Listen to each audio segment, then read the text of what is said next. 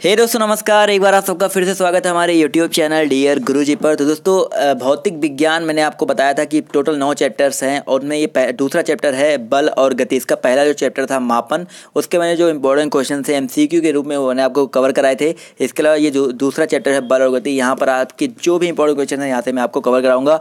और ये सारे जो भौतिक विज्ञान के क्वेश्चन हैं, ये सारे आपके हर तरह के वन डे एग्जामिनेशन में बहुत ज़्यादा काम आने वाले हैं। और स्पेशली यूपी ट्रिपल एस मंडी परिषद भी आपका समझ लीजिए होने वाला तो वहाँ पर भी काम आएगा।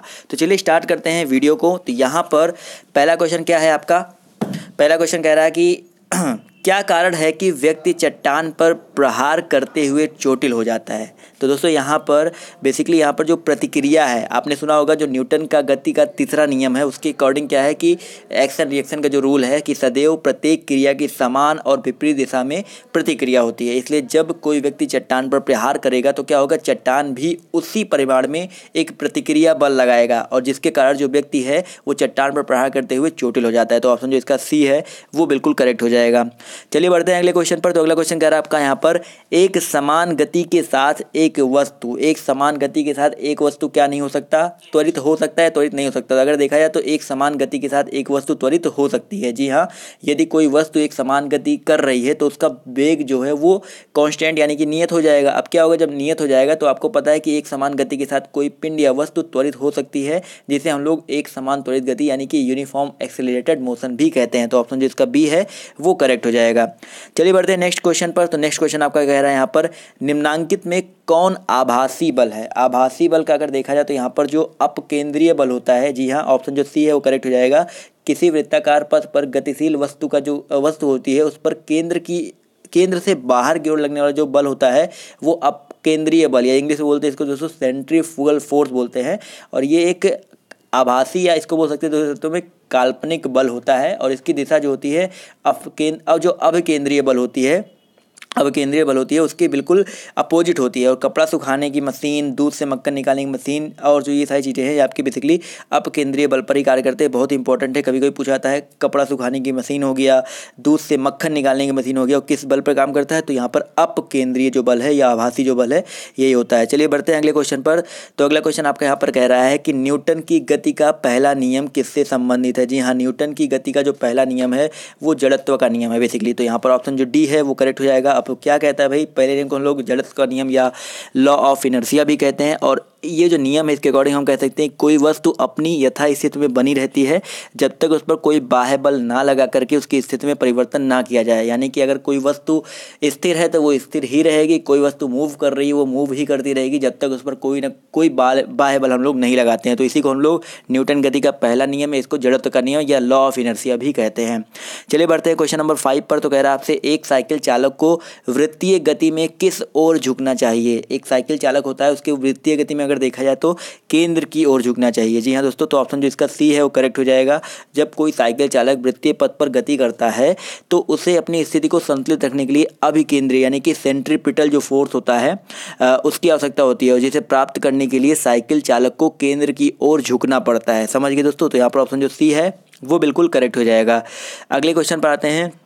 अगला क्वेश्चन आपका कह रहा है कि वृत्तीय पथ पर गतिशील एक वस्तु उदाहरण है। अगर वृत्तीय पथ पर कोई गतिशील वस्तु है तो अगर हम इसको कह सकते हैं कि वो एक समान गति और चर वेग कर रहा है तो ऑप्शन जो इसका सी है करेक्ट हो जाएगा। जब कोई वस्तु किसी वृत्ताकार मार्ग पर गति करती है तो उसकी गति को वृत्तीय गति कहते हैं, और वृत्तीय गति में गतिशील वस्तु की जो दिशा होती है, वो सदैव बदलती रहती है, और वो वस्तु जो होती है किसी निश्चित व स्थिर बिंदु से एक निश्चित दूरी पर रहती है, और यदि वस्तु एक समान चाल से गति करती है तो उसकी गति को एक समान समान वृत्तीय गति या यूनिफॉर्म सर्कुलर मोशन भी कहते हैं। समझ गए? चलिए बढ़ते हैं दोस्तों अगले क्वेश्चन पर। तो क्वेश्चन नंबर सेवन आपका यहाँ पर कह रहा है रॉकेट किस सिद्धांत पर कार्य करता है? रॉकेट जो होता है दोस्तों बेसिकली वो रेखीय संवेग संरक्षण यानी कि कंजर्वेशन ऑफ़ लाइनर मोमेंटम पर के सिद्धांत पर काम करता है। तो यहाँ पर ऑप्शन जो इसका डी है, ये करेक्ट हो जाएगा। और ये जो सिद्धांत है, न्यूटन के गति के तीसरे नियम के अंतर्गत आता है। और इस नियम के अकॉर्डिंग मैं आपको अभी पहले क्वेश्चन बताया था कि जो क्रिया होती है, उसके बराबर पंतु विपरीत दिशा में संवेग प्रतिक्रिया भी लगती है। अर्थात एक वस्तु में जितना संवेग परिवर्तन होता है, दूसरी वस्तु में भी उतना ही संवेग परिवर्तन उसकी विपरीत दिशा में होगा। तो यहाँ पर देखा जाए तो ऑप्शन जो डी है वो बिल्कुल करेक्ट हो जाएगा। चलिए बढ़ते क्वेश्चन नंबर नौ, आठ पर तो कह रहा है यहाँ पर, एक नाव जल में नहीं डूबेगी जब उसके द्वारा विस्थापित जल किसके बराबर होगी? दोस्तों, एक नाव जो है वो जल में नहीं डूबेगी जब उसके द्वारा विस्थापित जो जल है वो किसके बराबर होगी? वो होगी नाव के भार के बराबर। जी हाँ ऑप्शन जो इसका बी है वो बिल्कुल करेक्ट हो जाएगा। उत्प्लावन का नियम आपने सुना होगा। तो जब एक नाव या कोई भी वस्तु है या कोई भी चीज़ है वो तरल में यानी कि फ्लड में तभी तैरती है जब उस वस्तु उस पर उस आ, उस पर हम कह सकते हैं कि तरल द्वारा ऊपर की ओर उत्प्लावन बल लगाया जाए। और आर्कमेटिक सिद्धांत क्या कहता है कि जब कोई वस्तु किसी तरल में पूर्णता या आंशिक रूप से डुबोई जाती है तो उस पर लगने वाला उत्पलन बल उस वस्तु द्वारा विस्थापित तरल के भार के बराबर होता है। और यदि कोई वस्तु तैर रही है तो इसका अर्थ ये है कि वस्तु द्वारा विस्थापित किए गए तरल का भार जो है, वो वो जो है वस्तु के भार के बराबर होगा।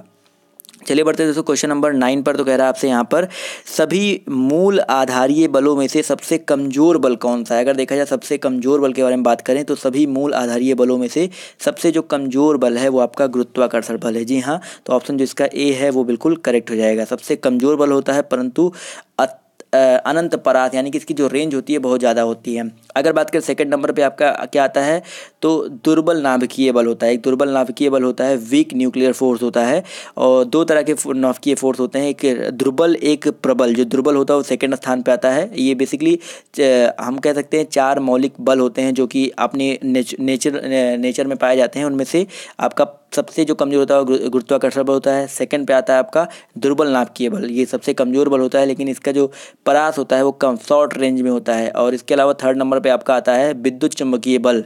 जो विद्युत चुंबकीय बल होता है, ये शक्तिशाली बल होता है और इसका परास भी जो होता है बहुत ज़्यादा होता है। और आपका सबसे जो शक्तिशाली बल होता है वो प्रबल नाभिकीय बल होता है। वो सर्वाधिक शक्तिशाली होता है, लेकिन जो उसकी परास होती है वो कम होती है।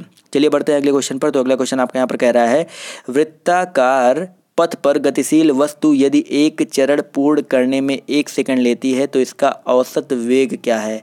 तो दोस्तों, वृत्ताकार पथ पर गतिशील वस्तु यदि एक चरण पूर्ण करने में एक सेकंड लेती है तो इसका जो औसत वेग होगा वो ज़ीरो होगा। कितना होगा दोस्तों? ज़ीरो होगा तो ऑप्शन जो इसका डी है, वो करेक्ट हो जाएगा। चलिए बढ़ते हैं अगले क्वेश्चन पर। तो अगला क्वेश्चन आपका कह रहा है यहाँ पर, प्रक्षेप का पथ कहलाता है। देखो जो प्रक्षेप कैसे होता है, जैसे आप लोग कोई बॉल उठा करके फेंको तो वो क्या होता है कि ये बेसिकली बॉल जैसे मान लीजिए आपने यहाँ से फेंका तो ये ऐसे जाता है। तो ये प्रक्षेप का पथ होता है। इसको हम लोग बेसिकली क्या बोलते हैं, इसको बोलते हैं प्रक्षेप वक्र। देखिए, वक्र के रूप में बना है ना तो यहाँ पर ऑप्शन जो सी है, ये प्रक्षेप वक्र बिल्कुल करेक्ट हो जाएगा। जी हाँ दोस्तों।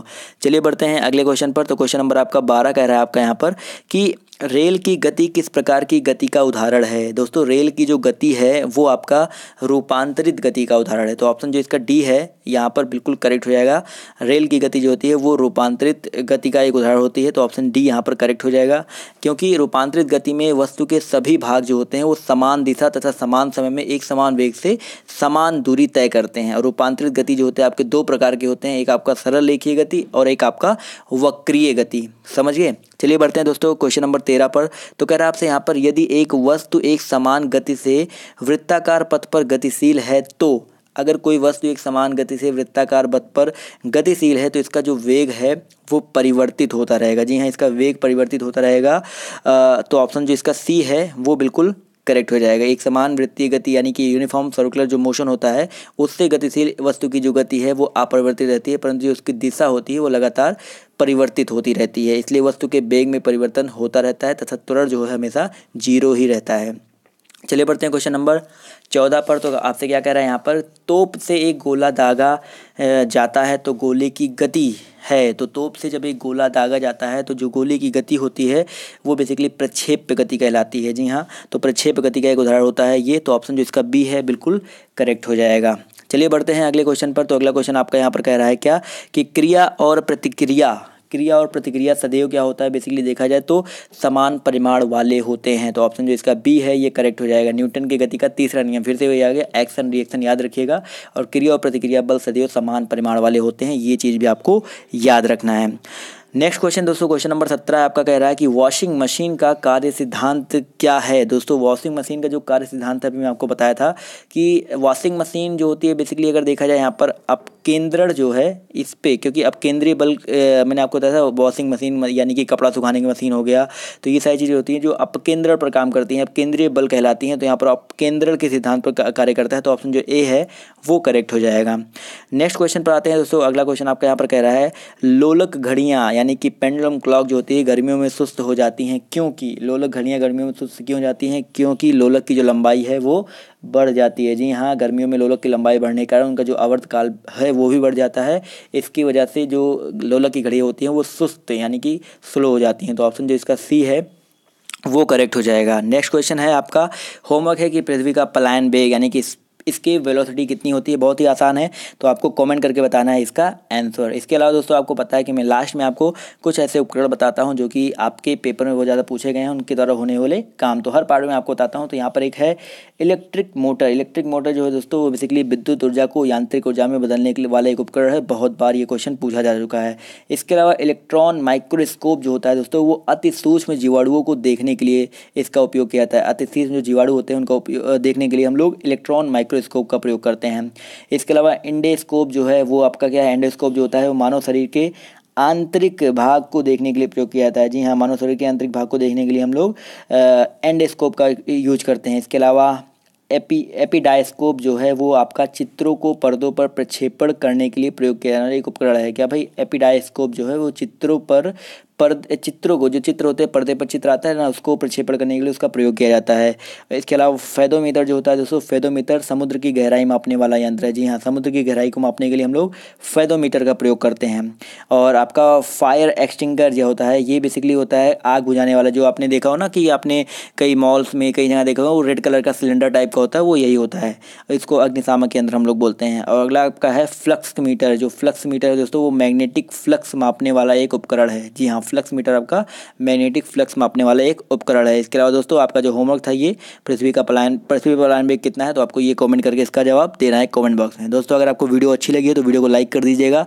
चैनल पर नए हैं तो चैनल को सब्सक्राइब कर लीजिएगा और हाँ वीडियो को अपने दोस्तों के साथ शेयर कर दीजिएगा, जिससे ज़्यादा से ज़्यादा व्यूज़ आ सके। दोस्तों बिगली बाय टेक केयर जय हिंद, जय भारत, मिलते हैं आप सबसे नेक्स्ट पार्ट में।